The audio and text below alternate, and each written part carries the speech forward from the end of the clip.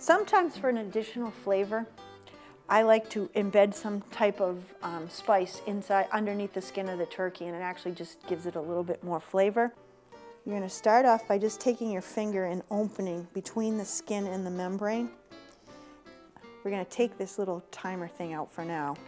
We'll put it back in when we're done, but you actually just kind of put your hand up inside here and you just go back and forth with your fingers. Feels a little funky, um, but you're actually just breaking the membrane from the meat between the skin. And so now this is all loose inside here.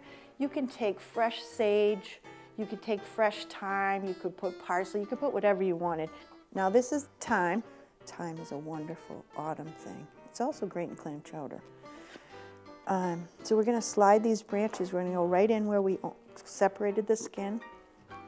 And we're just going to kind of haphazardly take some of this and slide it under the skin. Same thing with the sage leaves. You're just going to take them, put them up inside. And then what you can do is just kind of flatten it a little with your hand on the top. Just keep pushing it